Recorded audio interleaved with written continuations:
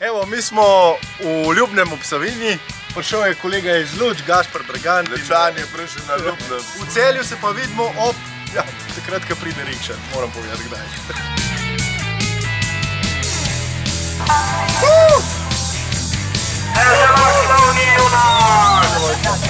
Je to, evo, zdaj laki imaš.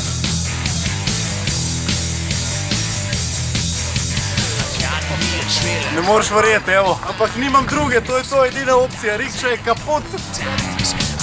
Evo, preser je pripolzeli, a ni lepo. Pa pivo raste v zadnju.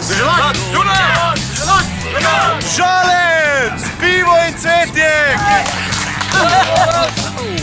Oh my Rikša, to. Lejo!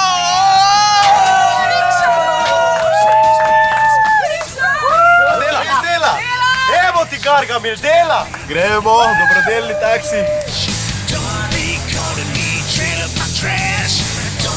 A gremo do žalca? Ja. Noben nima rad počasne vožnje, vsi bi se hiter vozili. Oj, sama se javlja. Kako je dobro, le to.